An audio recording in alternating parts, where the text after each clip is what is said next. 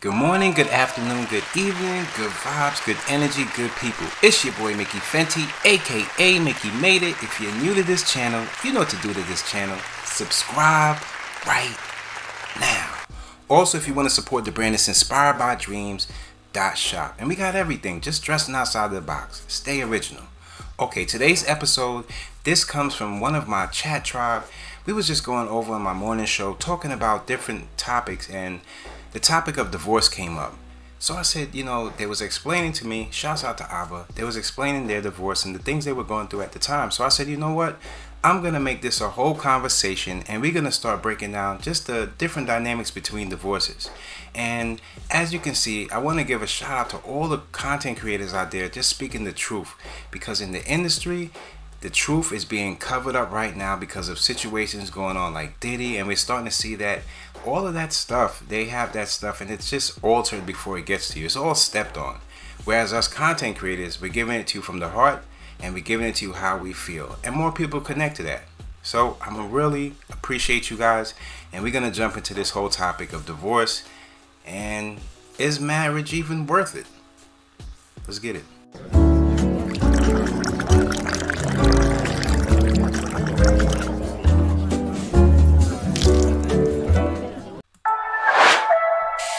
Mickey made it.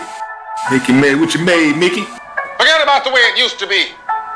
This is not a damn democracy. We are in a state of emergency, and my word is law. So I spent about a year and a half wondering if I should get a divorce. The hardest question you will ever have to ask yourself is Do I want to work harder at this or do I want to walk away? Do you want to make it work? And if you do, does your partner also want to make it work? And it takes a willingness from two people. For me personally, the yearn for freedom was stronger than my yearn to make it work. My ex husband was such a great man, which is what tortured me with my decision. But all I know is I just felt this yearning to explore explore myself without him. And I felt like where I was going in my life, he wasn't able to go with me. And this was a journey that I had to walk alone. But that period when I was unsure of what to do or if I should leave was agonizing. I was tortured. I was unwell. I was sick. I was scared. I was self destructive. I had one foot in one life and one foot in another life, and I just was like walking back and forth trying to figure it out. Once you make a decision of what you're going to do, you can finally move. But until then, you are just stuck. So at some point, you just have to decide but if you stay in something that you are not happy in, eventually you will self destruct. I ended up cheating at the very end of my marriage because I did not want to disappoint him. I didn't know how to break his heart, and I just butchered the job. My big regret is that I wish that I would have been more upfront with him about the things I was feeling and sharing my truth, and that we would have gotten professional help earlier. At that time, I just didn't have the tools to navigate the situation that we were in. But I'll end this by saying if you have a desire to go, you got to go. That person that you're with deserves someone that wants to stay. And if you do want to stay and make it work, you deserve someone that wants to stay and make it work with you. I Just got married and I'm getting divorced. The thing is that how dumb can they be to cheat on you, but yet not try to cover any of their traces? Which I mean, I guess I'm thankful that I found out sooner than later, right? Let me break it down and tell you how I found out. Okay, so I have a garden and three garden beds and I was out there pruning my tomatoes and my chiles and my garden beds are really close to my neighbor's uh, fence, like my next door neighbor's fence. Obviously, I'm not making a lot of sound because I'm just like pruning and I hear her come out and it sounds like if she's on the phone. So I'm like, ooh, I want to be a chismosa, you know, type of deal. So I hear her say, like, yeah, but she shouldn't know because we will both get in a lot of trouble. And it seems like if we both don't want to leave our partners. And I'm like, is neighbor cheating on her husband? Obviously, I stayed to listen. So it, it seemed like if the person on the phone was telling her, like, I'm gonna leave my partner or like I'm leaving because she was like, no, like if you leave, that means that I have to like where are we gonna go? This is just gonna be so awkward, and the due to us living next to each other, it's gonna be a bigger drama. And I'm like, wait, what? And then I'm thinking because next to her, their house, it's like this older couple, and I'm like like really a sugar daddy but i mean everybody has their own taste but I, I keep listening. And then I hear her say, but Noel. And I'm like, Noel? That's my husband's name. And it's not a common name. And another quick thing in these times, a lot of people are marrying the wrong people for the wrong things. It's just crazy. Like for you to be like, oh, well, the neighbor's name is also Noel. So you might guess what I I did next. So I go over and I bang on her door. And she opens and she looks like she just seen a ghost. And I go off on her. I call her all these names and I ask her since when has it been going on? And she's looking at me terrified. And she's like, "No, no, no, you you're misunderstanding everything." And I'm like, like I heard you. I was outside. Like you're for even going outside when you're the neighbor's husband. And I try to grab her from her hair, but my hands are not strong enough and long enough to hold her. And I'm trying to punch her, but I can't punch her like it's I can't punch. And I feel so angry. And that's when I wake up. And I'm like, I was heartbroken. And I felt broken inside, okay? It felt real. And now, I'm really wondering if my husband's cheating on me with the neighbor. I learned a valuable lesson at a very early age. The most important trait you should look for when looking for a significant other is high character and integrity. So when I was like 22, 23, I had this coworker and he was married. And him and his wife, they was married for um 10 years. They had two children.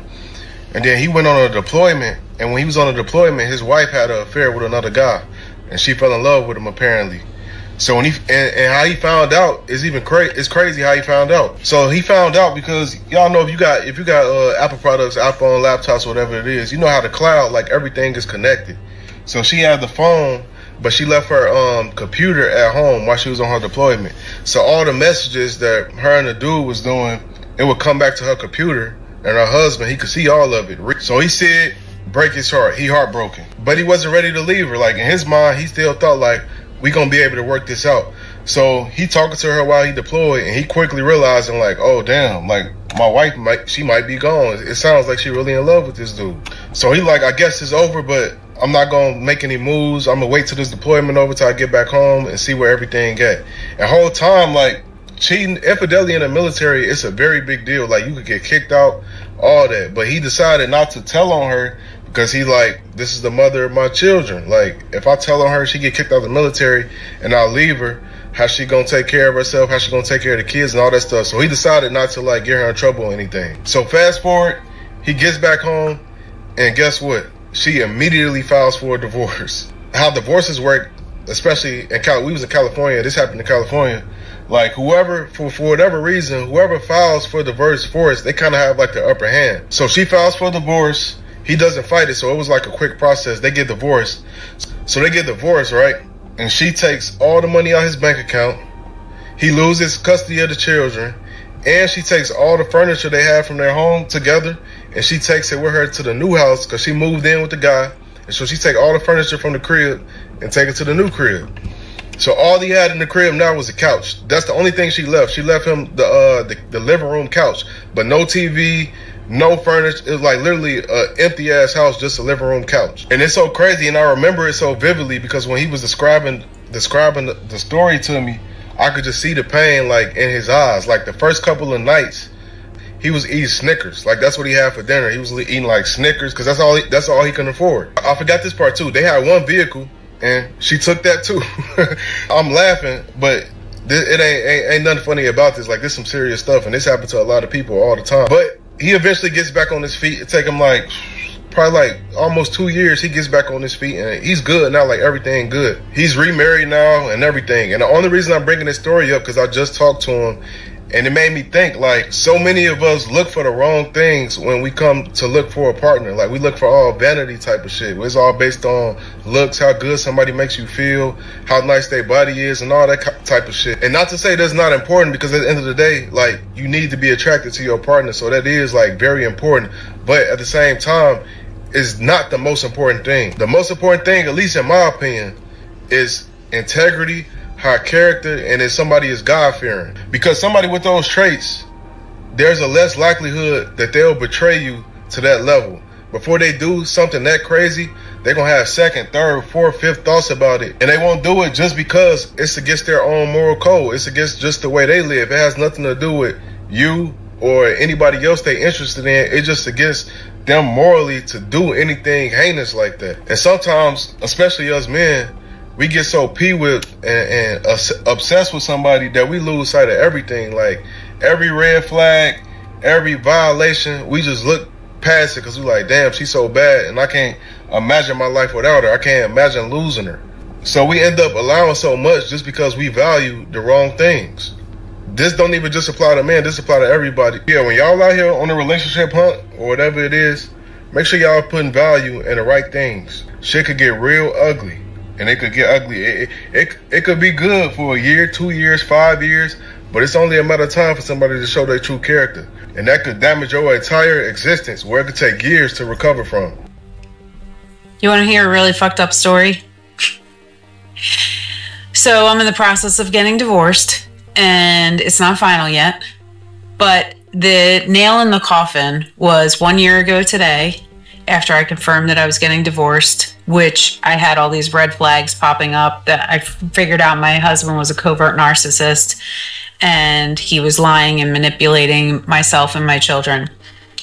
He says, We're definitely getting divorced, right? And I said, Yes, we have to. And he said, Well, I have something else to tell you. And when someone tells you this, it's like an automatic punch in the gut. You're like, crap, what's he going to unload? And it was exactly even worse than what you would think. He told me that the Thanksgiving after my dad died in 2009, when we were all at my mom's house to support her so she wouldn't be alone, that my mom tried to have sex with him. So I, how do you take that, right? That's some messed up information. He said he didn't tell me about it because he thought I would divorce him, but nothing happened. Now, I kept saying to him, if nothing happened, why would you think I would divorce you? And he didn't have an answer for it because I wouldn't divorce him if nothing happened. So something obviously happened. Confronted my mother. She told me the opposite. She said that he they were really drunk. He was making her drinks. They were drinking Captain and Cokes, whatever. My kids were asleep upstairs. I just started a job working night shift, so I wasn't even I went to work had Thanksgiving dinner, went to work. These two are, are yucking it up, drinking. He goes into her bedroom and tells her, now that my dad is gone, my father, he's going to take care of her. And he went in and took off her nightgown, and she didn't stop him.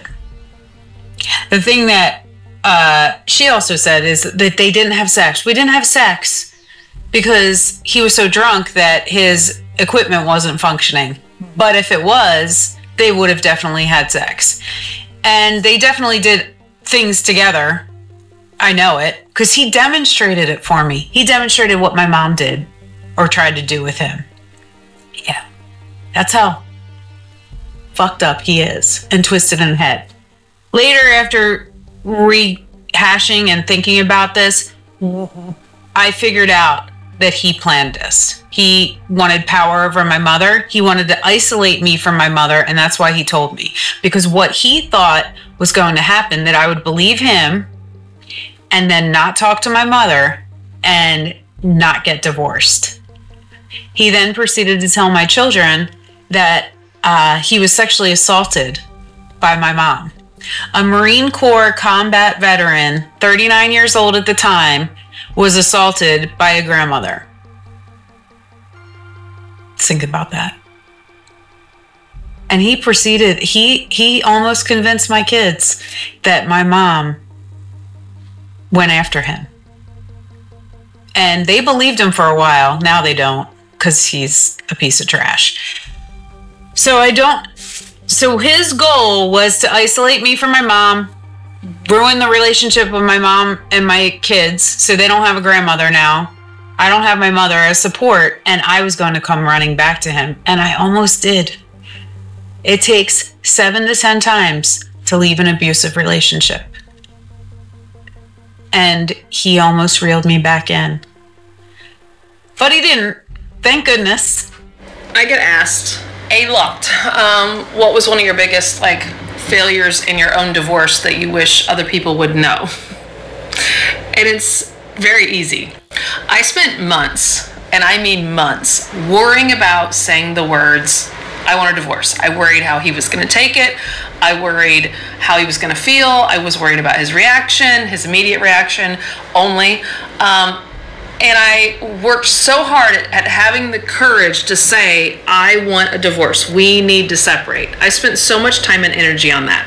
What I did not spend a lot of time and energy on was preparing myself for what was going to happen the next day and the next day and the next day. I did not think past that moment. I said those words without being prepared. I said those words without being educated. I said those words without having a fucking plan B through Z. I only thought about just saying the words, and that's it. 17 and a half years married, four kids. I begged this man, begged this man, please can, I've never been out of the U.S. Can we please go out of the U.S.? Can, I want to experience something new. Uh, can we travel? Can we do something? No, no. I get a text from him five minutes ago. What does it say? Hey, I need your permission. It's in the planning, but me and Aaron, his fiance, are taking her kids and he wants to take Kylie to Mexico for spring break. And I said, um, if he needs my permission to do that. They said, absolutely, it's a great experience for her. Just please watch her um, health and abusing it's really, really hard for me because it's like 17 and a half years, four kids, and I begged you, I begged you to take us or to take me and to do those kind of trips and, and to spend that kind of time with us. And it was always no. And now you're giving this woman everything that I begged you for. Everything I begged you for, you are giving to her. People do that because they want to feel hurt. They want to know that they're validated for feeling the way that they're feeling that it's not right and it isn't okay. And it confirms my choice to divorce was right. Even though I'm the one that was shamed and I'm the one that lost friends of 15 years because they didn't want to be associated with me anymore because I walked away. Okay, so I found this beautiful spot that's overlooking the lake. I have a rock to sit on. And it's real money. So one thing that I love about solitude is you get to think. And so going on this trail, as I'm running through it, taking pictures, my mind's running and something comes across my mind here. So I want to record it, I want to make sure that I remember it. And that is after my divorce, I felt really alone. And I didn't really know who I was um, because I had a partner define me for so long. Well, at least I felt like it. And I didn't, I just didn't know who I was. I didn't know what I wanted. I didn't know where I wanted to go. I just had a lot of things that I needed to figure out. And, and so, as I'm walking through this trail by myself in the quiet and stillness, I realized I'm happy. I'm really, really happy. And I'm happy alone. I'm happy by myself. Not to say that that doesn't mean that one day I don't want to be with somebody. I just felt like you can be happy on your own. You can't really be happy with somebody else until you're happy being alone. You can't count on somebody else to fulfill your life. You can't count on somebody else to tell you who you are. You have to be who you are. You just have to do it. It's hard and it sucks. And there's days you cry and there's times that you wonder why things are happening the way that they're happening. I think you have moments like this that bring clarity. And you're just in awe of the wisdom that you've learned about yourself, power that that can bring you, knowing that you're okay alone and you don't need somebody else to bring you happiness. When somebody comes into your life, they should magnify that happiness. They shouldn't be responsible for it. Um, I'm, I'm so grateful today. Um, everybody's, you know, quarantine. I'm so sick of it. I'm so sick of it. Embrace it. Learn from it. Learn from the stillness. Take the opportunity to really look at your life, look at yourself, and tell yourself, "Am I happy? Am I doing what I need to make me happy? You know, am I helping others around me be happy? Um, gosh, it's a beautiful day, you guys. Don't waste too long. When I first got divorced, it was the hardest part of my life. I didn't have anything. I didn't have no car. I had to start over. I literally had to sell my car. I, me and my kids got on a flight with four suitcases and my dog and I had to start over. I ended up having to move back with my parents. Me and my kids was sleeping in a queen size bed all four of us, I was ashamed. I had to get on food stamps and I literally had to start over. I was embarrassed. I was like, Lord, what am I going to do? I'm out here in this world. I got three kids. What do I do? I don't know I don't even know where to begin. And I look at my life now, even though I'm not where I want to be yet, I'm grateful for the experience and I'm grateful for where He has brought me from, y'all. Do you understand me? I almost lost my mind. I'm telling y'all, I know what you're going through. I almost lost my mind. It was times that I contemplated suicide and everything. And I, God has done so much in my life. And I just want to encourage y'all, like, you're going to make it through it. He brought me through it. Love y'all. I left my home, my life, my multi million dollar everything with three suitcases. With the girls or without the girls? Without the girls. So I have a full time nanny who is there seven to seven. So I was like, okay, well, I'm going to come to LA and I'm going to see my therapist because my therapist is here and I'm just going to check into the hotel. Well, when I got to the hotel, I slept for so long, they did a wellness check and they knocked on the door to make sure I was okay because I hadn't ordered any food and no one had seen me. And I could barely talk when they did the wellness check because I hadn't had water in so long. Because you were just out because you were so exhausted? I was out. I was physically exhausted and sick. How many hours is this? Um, I would say it was probably I want to say 30 hours. After I got up, I remember just being in a stupor and feeling like I could only mentally take one thing in front of me. So it was like, okay, drink water. Okay, eat some food lay back down. And then finally, I actually just told my sister, I said, Can you please check in on the kids? Because I don't know if I, I'll be able to. You know, I mean, it was just really step by step. And I think that's very similar for a lot of women. Here's some things that my soon to be ex husband used to do that I didn't realize wasn't normal until after I left. When the Wi Fi guy came to install our internet, he made me FaceTime him the entire time because he said that I might try and sleep with him. And then he still accused me of sleeping with him, saying that I could have slept with him before I called him or after I hung up the phone didn't tell me happy birthday until right before I fell asleep on my birthday, two months after we got married. Gaslit and manipulated me into not having a job and said, I just want you to be a stay-at-home wife. And then when like money problems would come up or any kind of issue with me would come up, he would complain about how I didn't have a job and how I'm just mooching off of him. Only came home and ate dinner with me maybe twice a week because he was at his parents' or his brother's house. He did not get me a Christmas present, but instead he gave me his debit card and said, Don't know what you want, you got 50 bucks, go get yourself something nice. Complained and told me that I was folding his clothes wrong when he never ever did laundry, wash clothes, nothing. He told me over a year after we'd been married and I was pregnant that he wanted multiple wives and then he was upset that I was upset about it. Got pissed when my parents bought us groceries one time. Told me that he didn't believe that our son was his son and when I said get a paternity test, he said, I don't even want to because it could be so close to my brother's DNA that you probably slept with that it would just say that it was mine and I would still never know. When the electricity went out on two of our rooms, including a bathroom, and our wash machine was broken, and I tried to get him to fix it for about nine months, he told me that I should have been more grateful and that it was a test to me because people back in the olden days didn't have that kind of stuff, so I should have just been grateful that I had it in the first place, even if it was broken. But I really just had to pull the fuck. I'm at work on the fuck in my truck. Why the fuck I had divorce court today and my wife is telling me the whole time that oh, you don't gotta go to court. I'm gonna make sure everything good. I'm not gonna get you for nothing. I just need to bring my sister for, she say, for a witness or something.